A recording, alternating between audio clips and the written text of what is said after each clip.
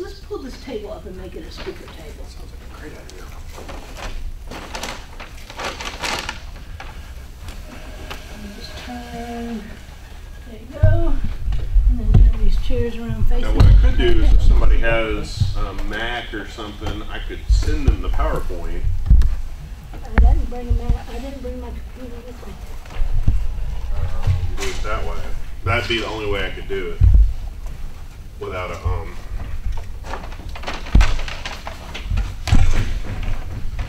Okay. I'll sit in the end here.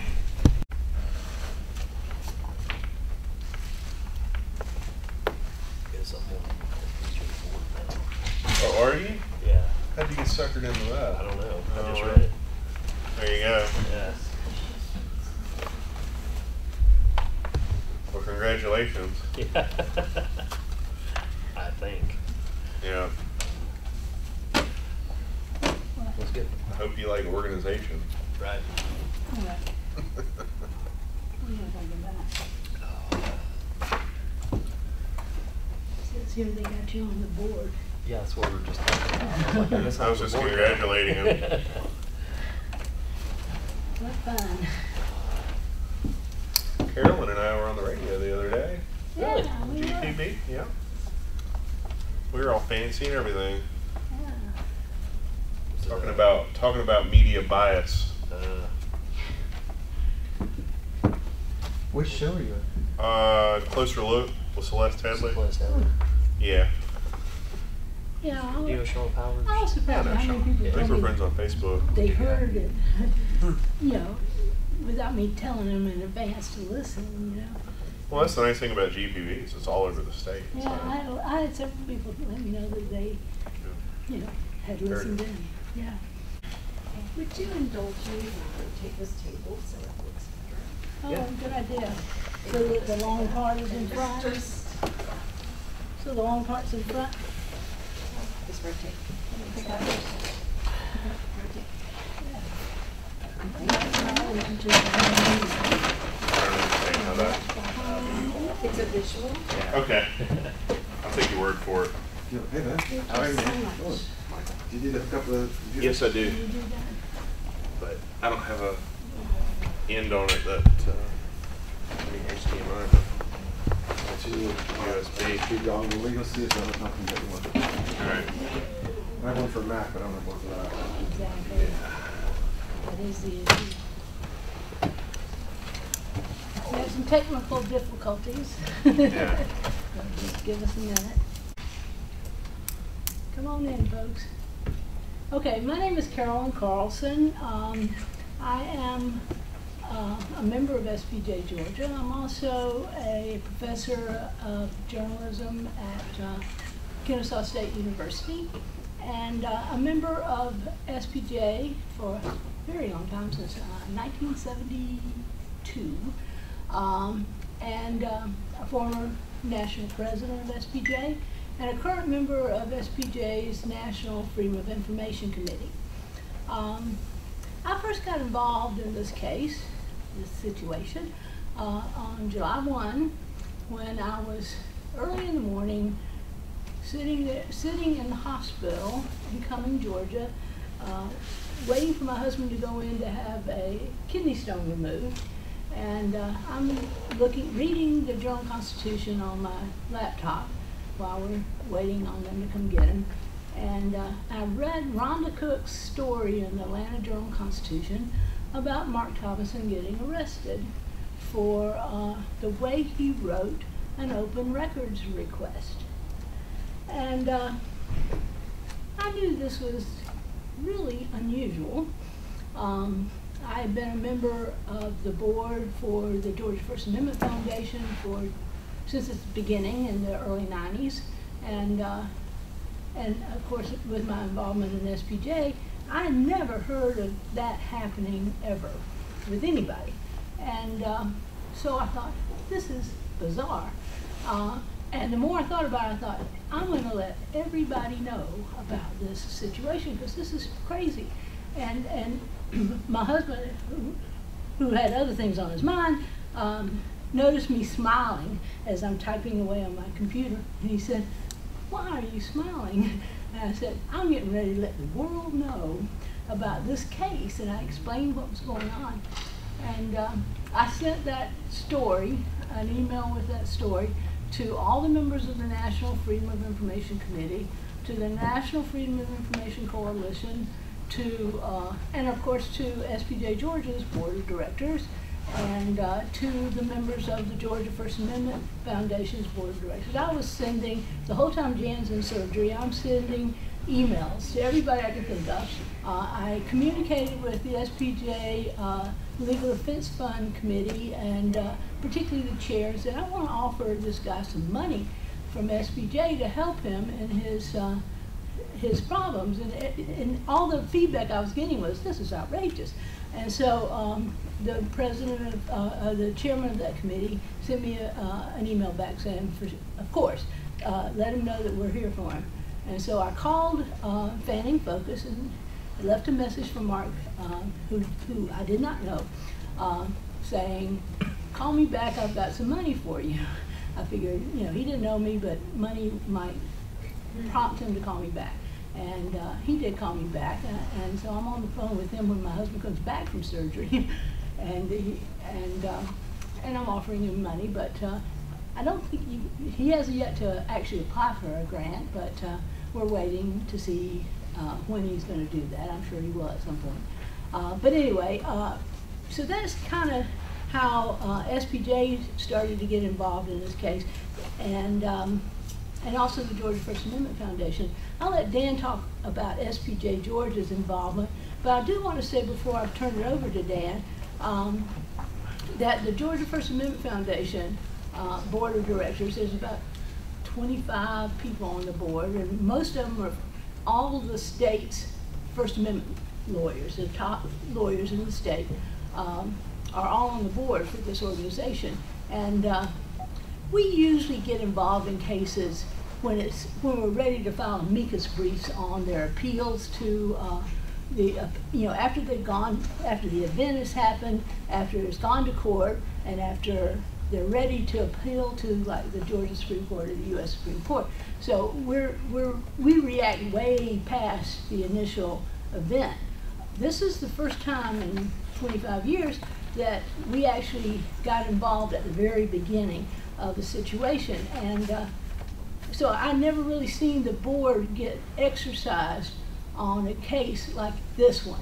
Um, within the first two days of my initial email, I, there was about 30 or 40 emails going back and forth involving mostly the lawyers on the board of the Georgia First Amendment Foundation who were totally outraged.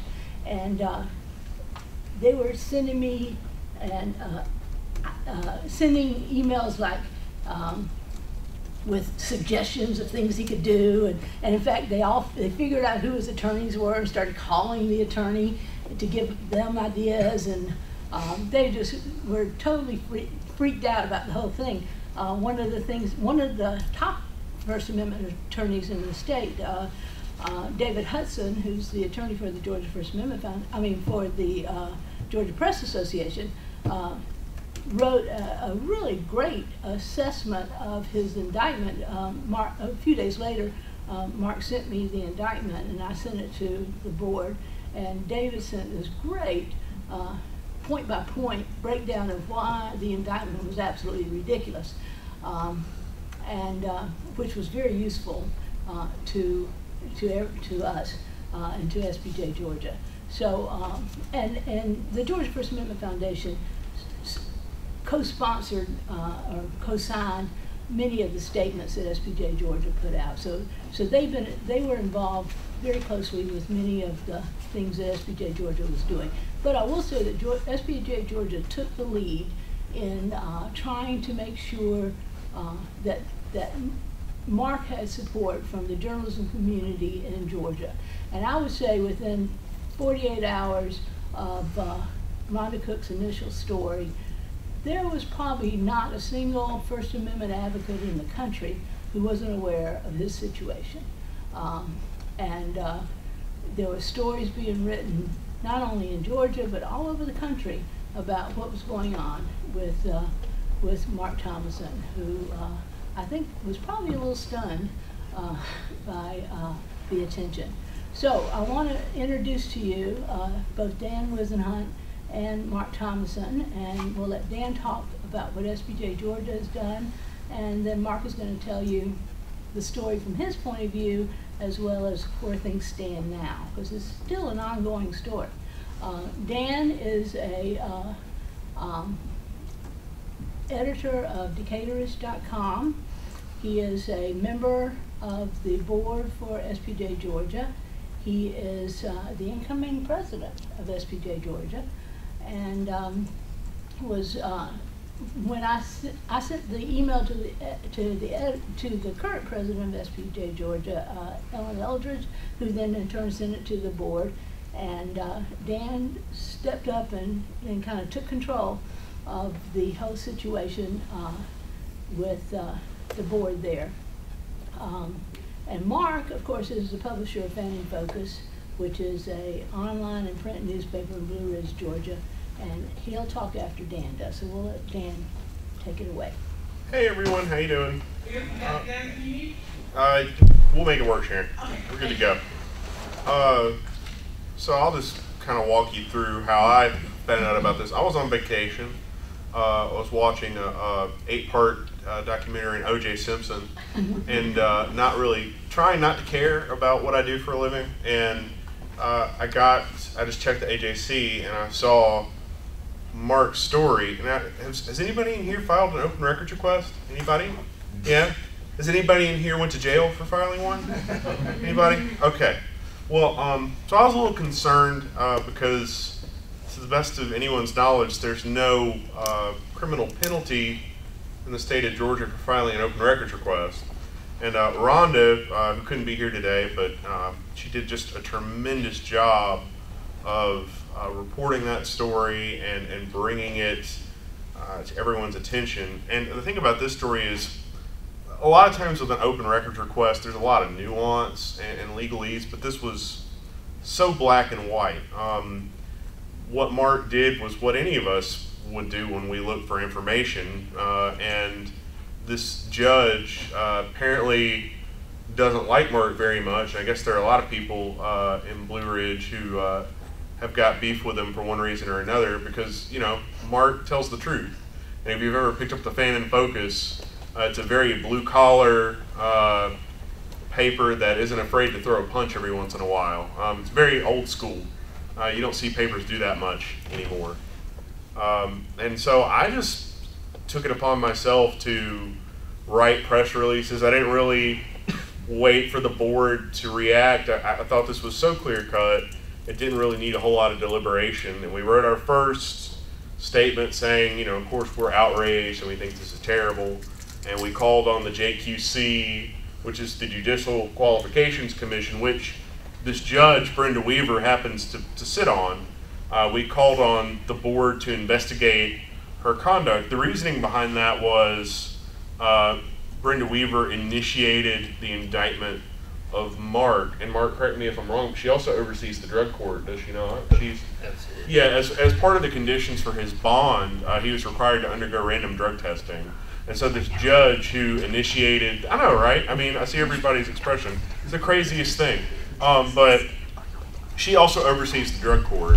And so we, we can't reveal exactly what went into our complaint, but we first called upon uh, the JQC uh, to investigate it. And of course, because Brenda sits on the JQC, we said that she obviously needs to recuse herself. And then we kind of waited a couple of days for somebody to to step up, and nobody did. So I said, "Fine, I'm going to file it." So SPJ Georgia filed its own complaint, and unfortunately, as crazy as this sounds, we can't tell you what's in it because the rules of disclosure for those complaints are such that if we did tell you, they would kick it out on technicality. And yeah, it's it's crazy, and they're and we'll get to this in a minute, but they're trying to vote to make it even crazier than it is. Um, so we didn't want to jeopardize Mark's case from going forward. So we filed uh, the complaint. It was based on what was in the Judicial Code of Ethics. And then, um, not too long after that, uh, Mark got a pro bono attorney. Ashley Merchant stepped up to help him. Uh, they got the charges dropped against Mark. Brenda Weaver ultimately left the JQC uh, because it was too much of a conflict, really, for her to be on the board that was investigating her. Uh, and Mark became kind of a big deal. He got written up in uh, all kinds of national U.S. News and World Report wrote about him. Uh, Gawker wrote about him for Hulk Hogan body slammed him to death. Um, Chattanooga Times Free Press, AJC, and Mark, you know, became sort of this cause celeb uh, in journalism, and it was all because he was doing his job. Um, and, and, there was such an outrageous response to it. So I, I would say that uh, what SPJ did was we didn't really wait around uh, for National to get back to us and say, you know, National is the chapter that governs all of us. We just jumped in and got it done. Uh, and Mark is, he hasn't been jailed since, right? You, have been out of jail. Uh, Mark's attorney got jailed too, in case you were wondering where his attorney was in this whole fracas. Uh, his attorney was thrown in jail too. Um, and so the, I, I called his attorney to offer him some legal defense on Yeah. that, but he said, give it to Mark. right. Um, so that that's kind of where we got involved with it. We jumped in, we we did our part. We got quoted in a lot of articles about what was going on. The fact that we filed the JQC complaint alone made it uh, news, and they wrote some articles about that as well. And Mark can tell you the story of his arrest probably better than uh, any of us can. So I'll uh, let you take it, Mark. All right. Uh, I appreciate Carolyn and Dan both uh, everything that, that y'all have done throughout the situation. Honestly, uh, I was so compelled by what SPJ offered throughout the process. Immediately, I was not a member, uh, and SPJ is calling and offering money. Um, this has to be a good, or, you know, good organization. So, uh, am now an active member, and uh, will be on the board for Georgia uh, this upcoming year. But SPJ honestly did really good things uh, throughout this on behalf of, uh, of really all all journalists. Um, this situation started back in March of 2015. Uh, Fannin Focus is located right where Georgia, Tennessee, and North Carolina pretty much all three meet. We're a small Smoky Mountain town. Uh, lot of old school political values. And a gentleman in the community was up on arson charges. There was a bond revocation hearing uh, for this gentleman, and a witness in this bond revocation hearing happened to be African American. Um, there were several people in the courtroom when this witness was called. His name is, is Alan Green, Alan DeRay Green. Uh, never had any kind of criminal history. As a business owner, well respected uh, and well known in the community. And he was being called as a witness in, in this particular bond revocation hearing, and the judge asked, What is our next witness' name? Uh, at that point, according to the transcript that's been released, at that point, uh, an assistant district attorney in the room said, "Oh, uh, that's old N-word Ray," um, but used the full slang.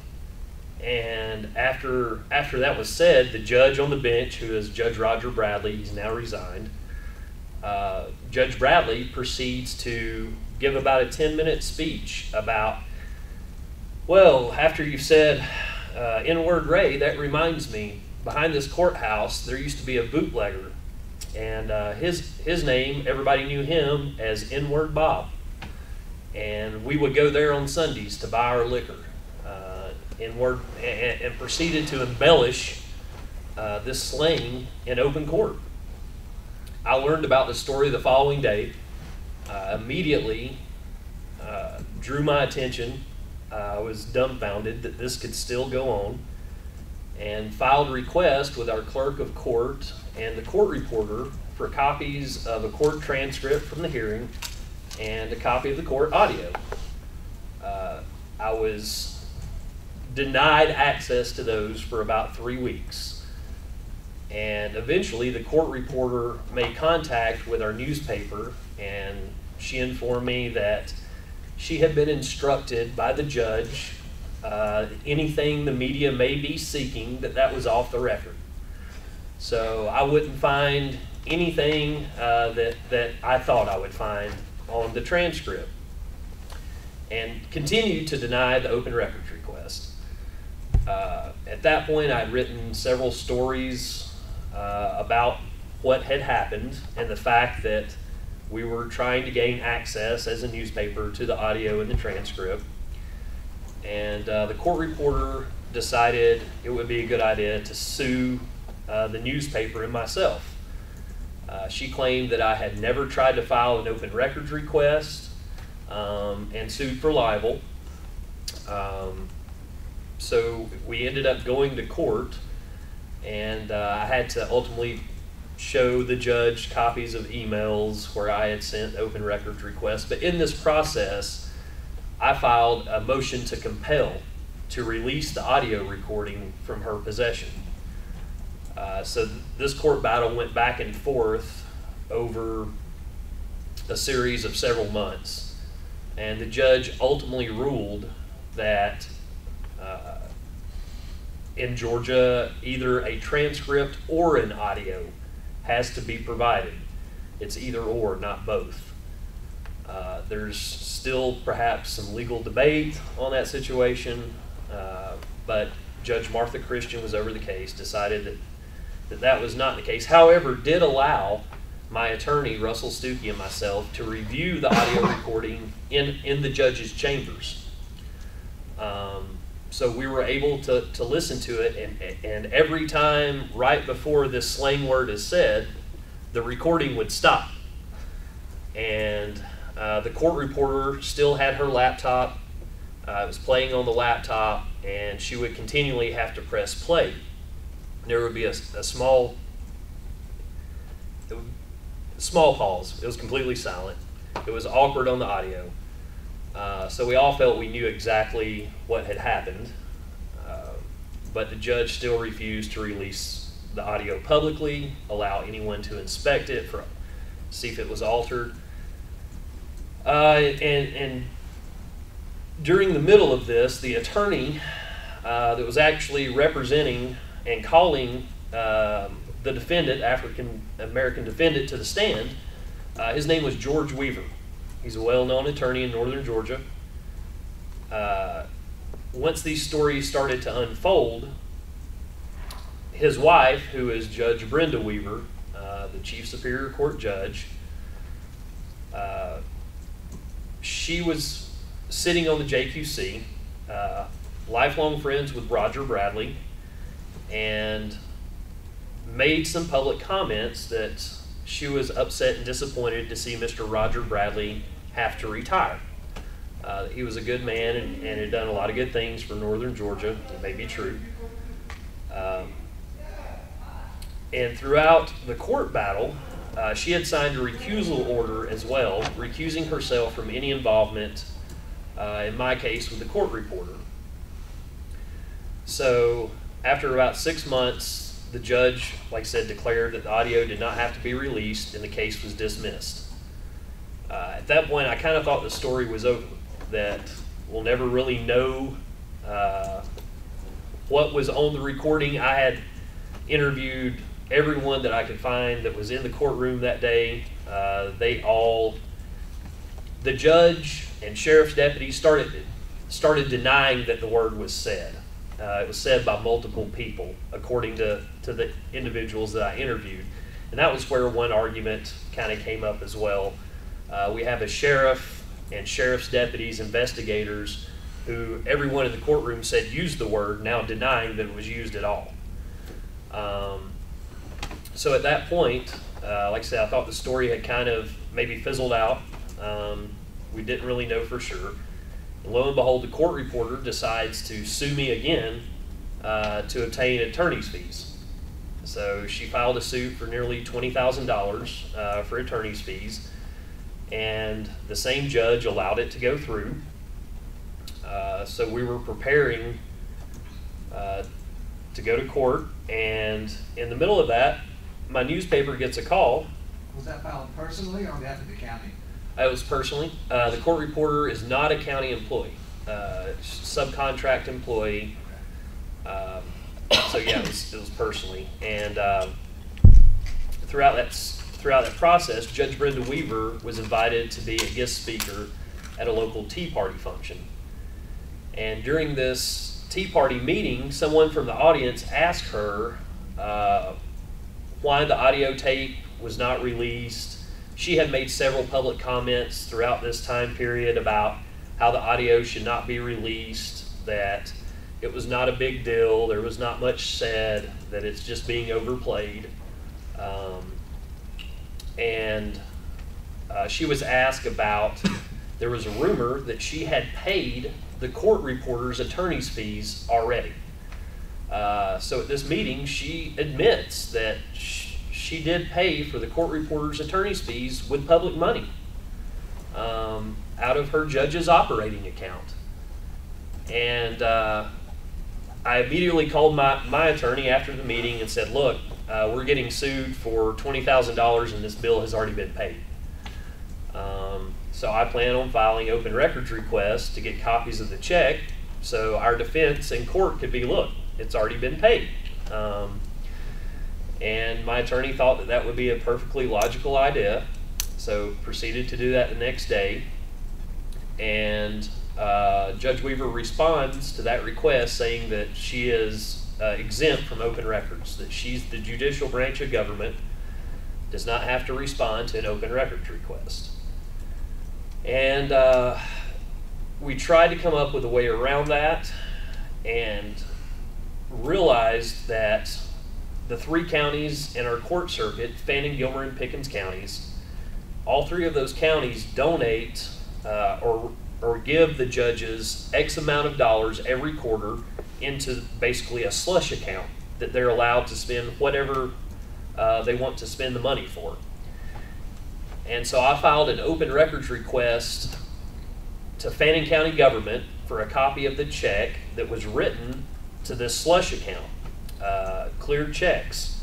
And we took the account numbers from the back of the cleared checks and filed open records requests. It showed the bank that they had cleared at, uh, filed open records requests on the banks in, in hopes to get the copy of the check that paid the court reporter's attorney.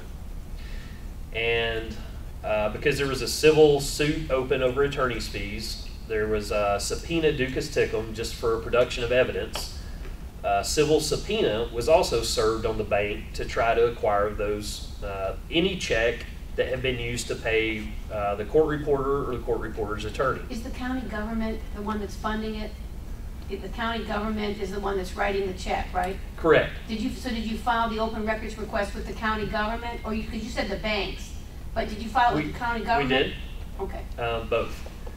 Uh, the county responded, uh, well, we filed them on all three counties, Fannin, Gilmer, and Pickens. Uh, Fannin County responded saying that they only have uh, the last two or three checks available, um, and it would take roughly 30 days to, to come up with the rest of the checks. Gilmer never responded, and Pickens County um, didn't respond as well. And uh, we get a response from the bank, but it is uh, on a, a CD which is password encrypted, and we can't gain access to it. Uh, and this was like two days right before our trial was scheduled to be heard. So we go into uh, go into the hearing, don't have any of the any of the checks ready. We think that it's going to be a complete headache to, to prove to the judge that the bill had already been paid. And lo and behold, the court reporter's attorney stands up and says, Your Honor, um, Mr. Thomason and Mr. Stuckey need to reimburse the taxpayers of this area. That, that Judge Weaver and Judge Bradley have already paid uh, the attorney bill. It was paid from a public account, and they need to reimburse this public tax money. And the judge's mouth dropped. Um, she kind of did a double take and immediately dismissed the case. Uh, so we walked out. George Weaver was also there that day, and uh, we walked out of the courtroom. Again, thought the situation was over, and uh, Mr. Weaver and his wife, we have a, a local bar on Lake Blue Ridge, which is quite popular.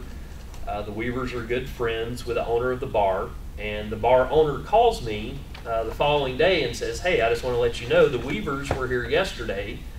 They're completely irate at the fact that uh, you've shown that public money was used to pay this bill." And the gentleman's name is Herb Wyndham. I said, "Well, Herb, they they admitted it in the courtroom. Uh, we didn't even have have evidence to, to support it. They brought it up and they testified to that fact. Uh, I'm not sure why they're upset. He said, Well, I just want to let you know that they were willing to bet me $1,000 that they have you arrested by the end of the week. Um, that they don't want any more open records requests, they don't want any more reports in the newspaper, um, that they just want you to go away.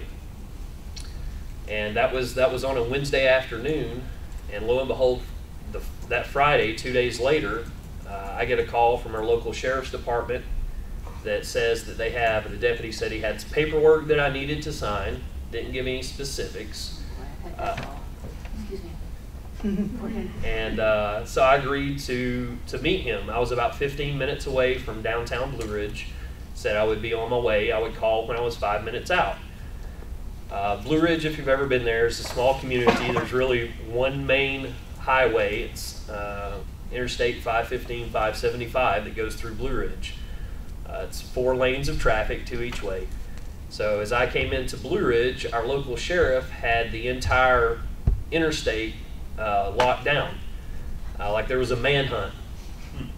and traffic was stopped both directions. Uh, as soon as they saw the truck, I was escorted up to the sheriff. He had his vehicle parts uh, crossways across the interstate and proceeded to tell me that I had three felony warrants for my arrest and to exit the vehicle and uh, was taken to jail. It was uh, Friday afternoon. Um, I, I repeatedly asked, you know, why am I being arrested? What are the charges? Um, we'll get to that. We'll get to that. Uh, so the typical process of being fingerprinted and booked in, um, put in, put in your typical jail clothes, and in, I was placed in general population. Um, still had not seen why I was being arrested, any of the charges, any of the paperwork, and was housed there uh, till almost morning time, and got a call in the cell that uh, I was needed up front. And so I, I walk up front. The deputy says we are being transferred uh, to another jail. Still don't know why I'm being uh, even arrested at this point. So they proceed to do the full shackle, the ankles, the belts, and uh, I go to get in the back of a car and I see my attorney, Russell Stookey, in the back of this cop car, and he's in cuffs. And, uh, you know, what's going on here? He says, I have no idea. Um, he was arrested two counties away uh, in Towns County, Georgia. So they transfer us about 40 minutes south to Pickens County. Um, and we, we proceed to check into Pickens County Jail, the same process all over fingerprint, shower, booking. Uh, and they still don't know why we're, no paperwork has been provided. Uh, and they, they put us in two separate, uh, I guess they call them holding cells. It's a smaller cell, um, only meant for two or three individuals. And uh, finally, one of the jailers tells us that, look, um, you're here, you're both here on felonies. Uh, we don't anticipate a judge could even give you a bond for maybe three weeks. Um, so we had mentally prepared ourselves for, for a fairly lengthy visit at that point overnight. And uh, the next morning rolls around.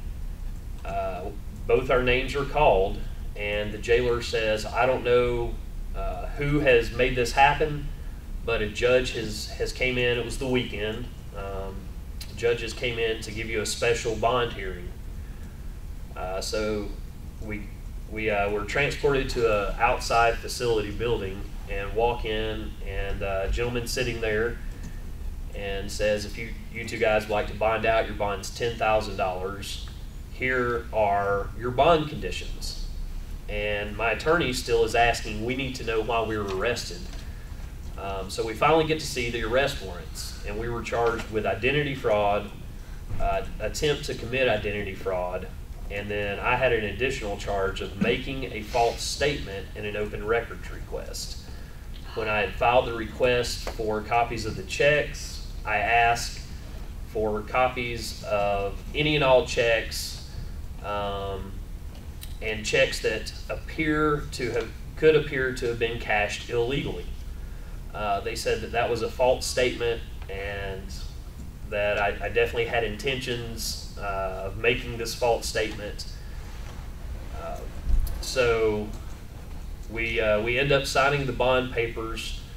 Uh, in that, I had to report. Judge Weaver also owns the probation companies. I think like they mentioned earlier. So we had uh, we had drug tests every morning at 5 a.m. I would have to call a number, uh, phone number, and then I had a card that had a red sticker on it. And if the color red was called, I had to report by 7 a.m. to take a drug test. And uh, this happened, uh, I think the bond conditions lasted approximately two weeks. And out of those two weeks, I had to take about 10 drug tests roughly. Um, so we go through bond conditions, but unbeknownst uh, to me, the, the Monday following when we were bailed out is when Carolyn called the Fannin Focus office. Um, at that point, uh, Rhonda Cook, the reporter for the AJC, had called Sunday afternoon um, when I had gotten out of jail, and I have since learned I don't know who it was, but but Rhonda said that there was a North Georgia judge who had contacted her about this arrest and said you might want to report on this, and so evidently that's how she learned about the situation. That Monday morning, I was definitely not prepared um, at all. The office was inundated with phone calls. Um, it seemed like journalists nationwide kind of held a high interest um, because it is something that I think most of us do on a daily basis, at least a weekly basis.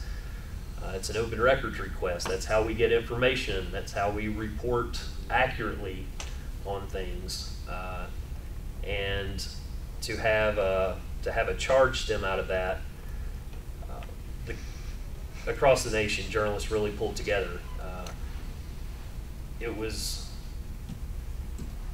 roughly, I think, three or four days after SPJ. SPJ, uh, if I'm correct me if I'm wrong, you made a statement that Monday. Yeah, it was close to when it happened. Yeah. Monday or Tuesday. Um, it was within 48 hours that SPJ uh, is drafting press releases. Uh, Rhonda Cook's story really sparked with the First Amendment Foundation as well. Honestly, um, I think the first statement was jointly issued by, I think Dan wrote it, and it was co-signed by the Georgia First Amendment Foundation and the Georgia Press Association. Yeah, I believe that is right.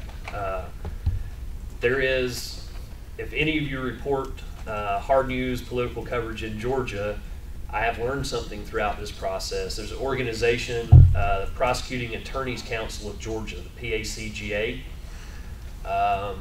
The PACGA has, it's kind of a Hillary situation.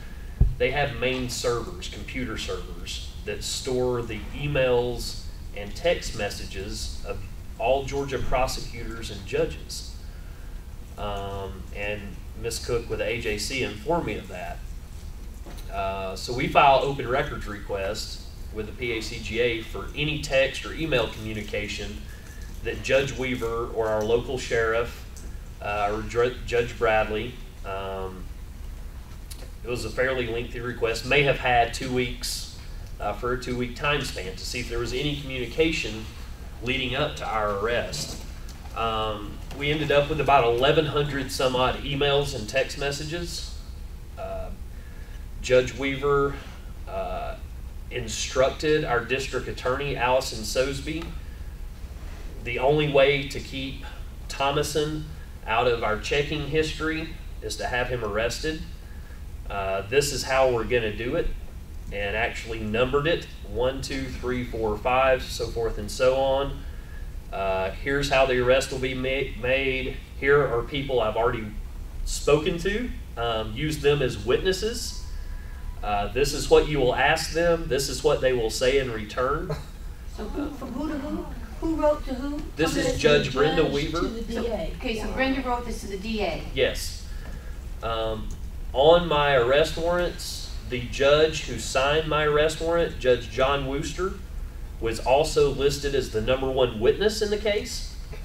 Uh, the, they called a special set grand jury uh, the Friday I was arrested. Uh, the foreman of that grand jury was Judge Alan Morris, who Brenda Weaver appointed. Um, it was very, very peculiar looking at it on the surface. When we get- copies of these emails, we find out this is why it happened. Um, Judge Weaver orchestrated the from A to Z, really didn't leave any detail out. Uh, the three charges that I was arrested for is, is what she asked the DA um, to charge me with. Uh, she proceeds to say, you know, we need him kept in jail long enough uh, to put his newspaper out of business. That way, this all goes away. Um, ultimately, I think that we can get away with dropping the, the attempt to commit identity fraud and the identity fraud charge. Let's find him guilty on making a false statement in an open records request and have him sentenced to 90 days in boot camp. Um, they had uh, my sentencing planned out as well. They they did plan to ultimately drop all the charges on Russell Stookey. However, because of the actions of SPJ, like Carolyn said, um, the day following, uh, I think it was the second press release by the SPJ. Brenda Weaver is taking quite a bit of, of media pressure at this point. Um, and she decides to draft another email to, to the district attorney and then ultimately release it publicly saying that she has uh, initially she said she didn't react well when her honesty and integrity were questioned in the Atlanta Journal, but she now says um, about a week later that she has had time to reflect and perhaps uh, this was not the correct path uh, to choose and that she would like to recommend the charges be dropped to the district attorney. Um, so immediately, and, and they say in an email, she says, I think this will relieve the media pressure that, that we're all getting nationwide. And, and the, sorry to interrupt, but the district attorney, didn't she clerk for Judge Weaver? Yeah, the district attorney, Yeah. uh, yeah, clerk for, for Judge Weaver was also a law partner of George Weaver's for many years. So her start was with the Weavers. Um, very incestuous relationships. Was that Uh, second email to the DA too? It was. Okay, thank you. It was. Um, and uh, recommends that the DA drop the charges. So uh, a lot of media organizations start to report charges are dropped. Um, and uh, all while they still really weren't dropped. Um, I was still having to report for drug tests. I was still, um, I, I could not uh, be within 200 yards of the courthouse. Uh, there was a long list of witnesses uh, that I could not get around. That included the staff of my newspaper. So, covering any political function in Fannin County, my newspaper was at, at the mercy of this uh, these bond restrictions. Um, again, uh, very, very unusual bond restrictions. Basically, shut the newspaper down from covering any hard news for, for about two weeks. Um, a, a special judge, Judge Richard Winegarden, was assigned to the case. Um, and I believe Dan, uh, well, I, am not exactly sure the direct Yeah. correspondence between Dan and this judge. I Judge- called him too. Yeah, we Yeah. called him. We all uh, called him. Judge Winegarden is a, um, it, what's the term for it? He's a senior A judge. senior judge. What He's that? retired. Yeah, he's retired because he lost an election. It Yeah. is unbelievably hard for a judge in Georgia to lose an election. Uh, people, you have to have messed up bad. Okay. um, it, it- seriously, if you got that many people who are going to unseat you, most of the time they just get reelected because people don't know what judges do.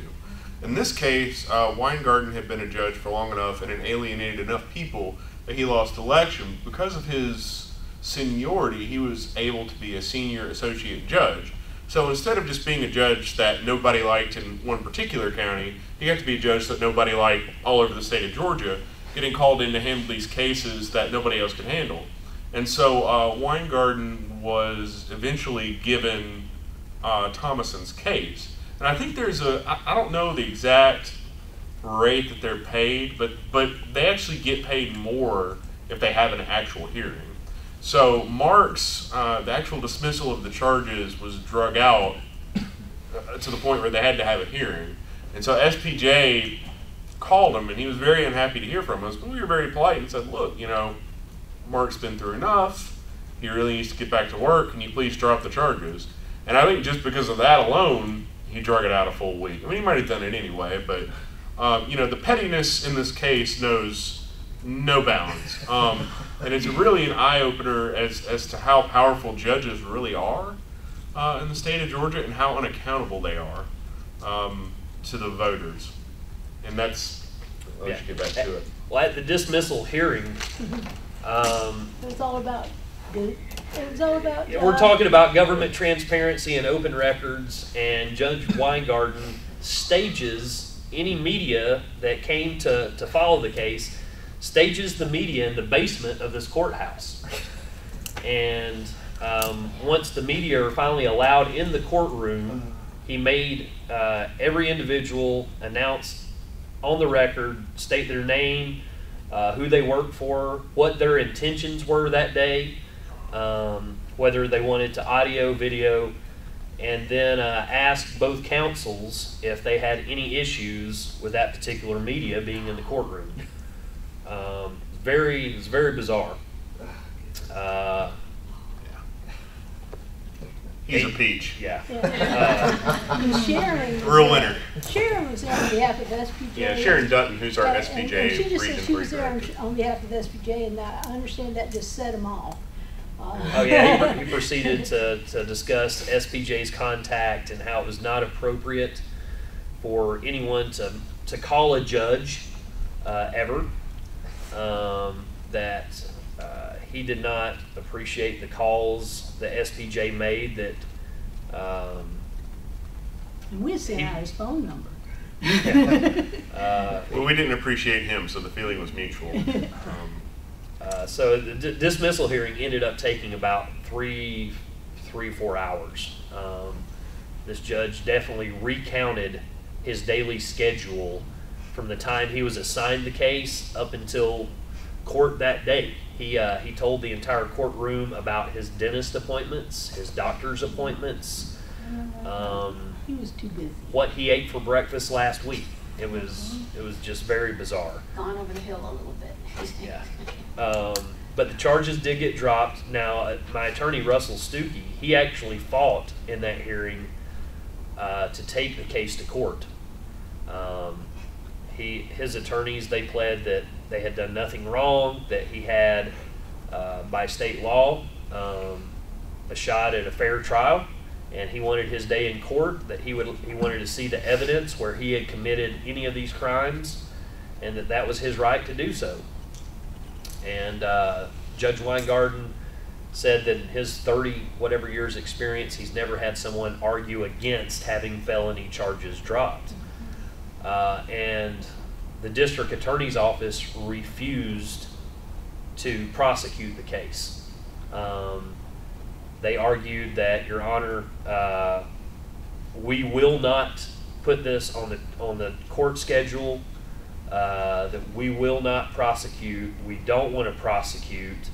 Um, however, two weeks before, obviously they had a, a grand jury indict us, uh, indict us both. But at this point, they had decided that they did not want to prosecute whatsoever. Judge Winegarden uh, said that he had no other choice. It was be in the best interest of the taxpayers of the state to go ahead and dismiss the charges. So they were dismissed on both um, my attorney and myself.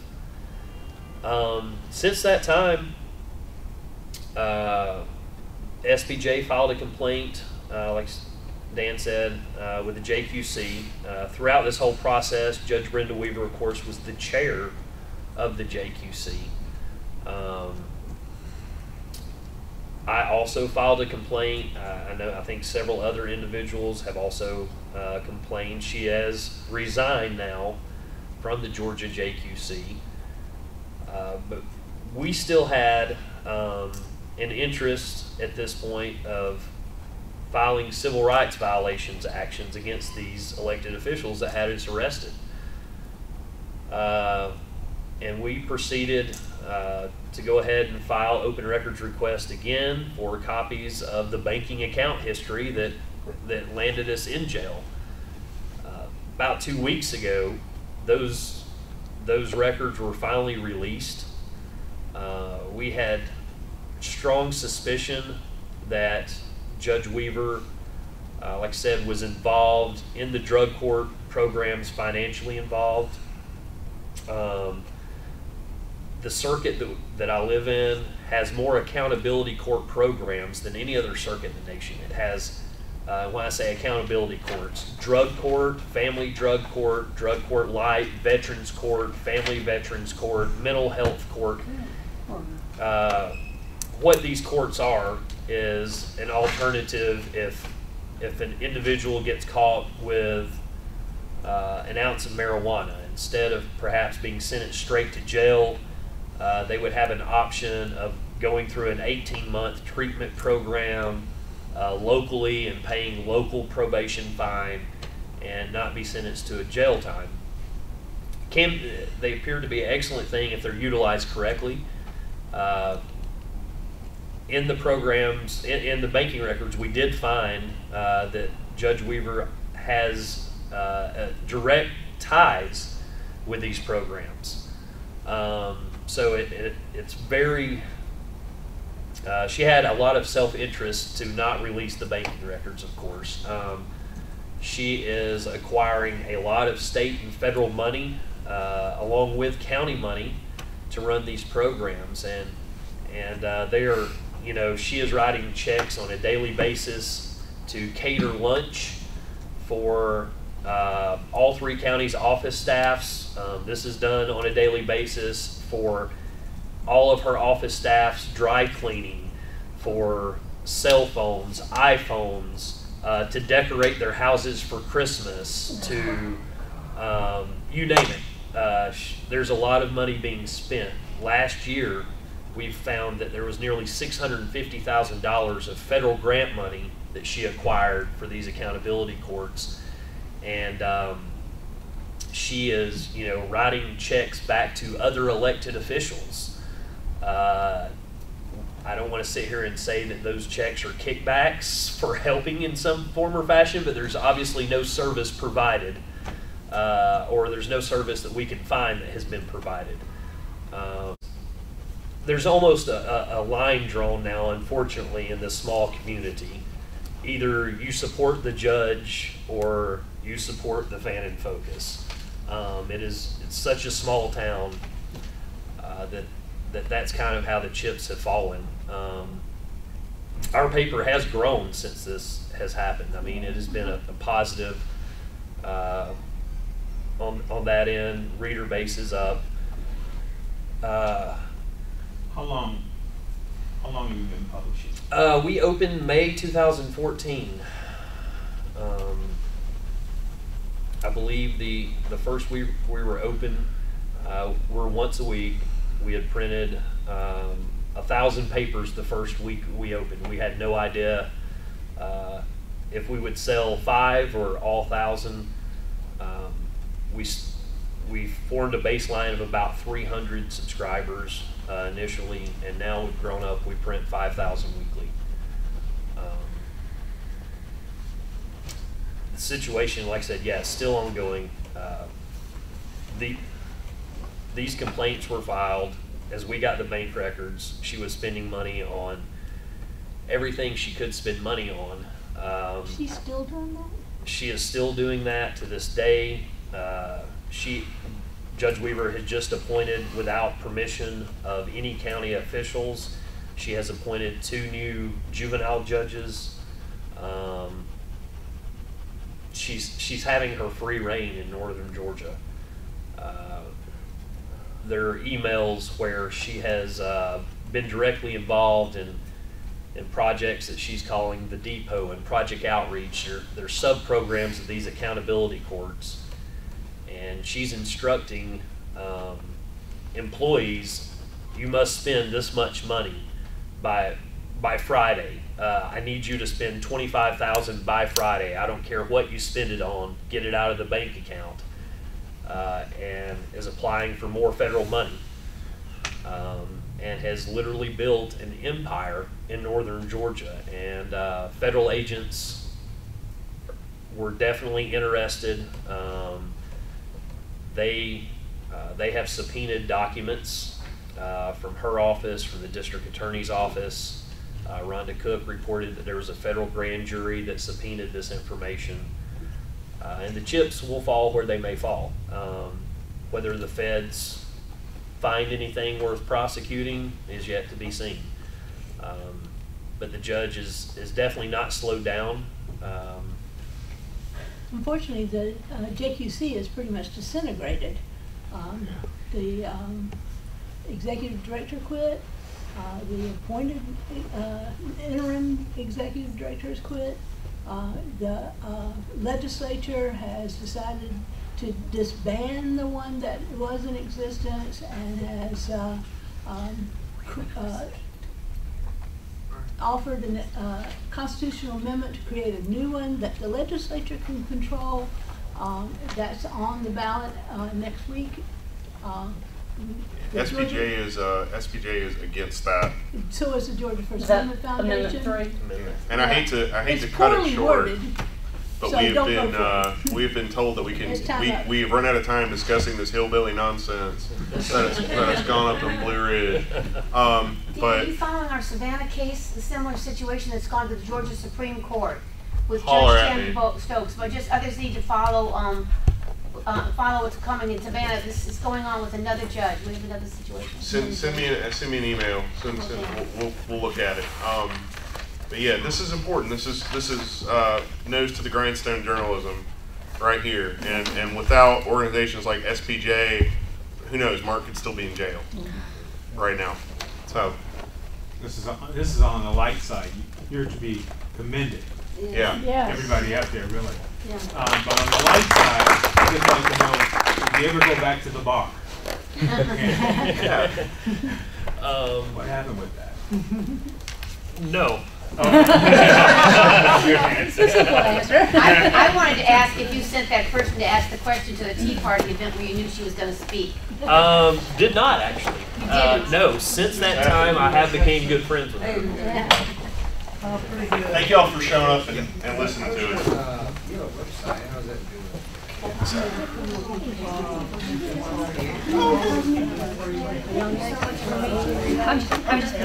Yeah, yeah. You're one who, I uh, also went to jail for Yeah. doing what's right. yeah. Nice to meet you too. Nice to meet you.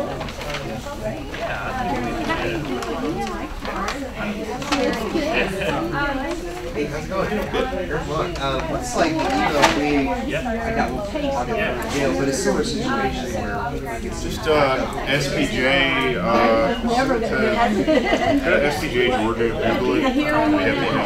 We have the email. I don't know. I think it's like SPJ Press. but I don't want to say the wrong thing.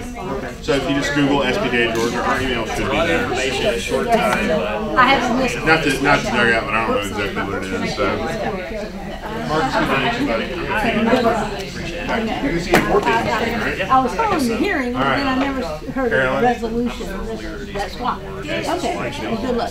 Uh, You want my card? I'm at the Uber back. I got to do a Halloween. then we will stay in touch. I gotta take my kid to a Halloween Tuesday. I'm Lucy, I'm Phelps, I own Total Digital News Company in Savannah. But I, we, our judge case goes to the Supreme Court. But city council's trying to Secretary yeah. Deputy. I gotta do session. Chief yeah. Judge, and we've got a whole, same, same stuff. I haven't been arrested yet. Thank you. Maybe miss your guy, okay. Right. But also, I wanna talk to you about your financial back end on your subscriber thing. Can I, I'll email you. Email me, That's that'd be what- great. Yep. Thanks, Dan. Okay. When the article's posted, it's also in your face. Enjoy the walk. Cool. And is it, is it pretty? Is it letting you do some hard hitting stuff, or is it easy kind of? It has been, he, um, he was instrumental in the reporting that, um, is evidently, it's had a number of city managers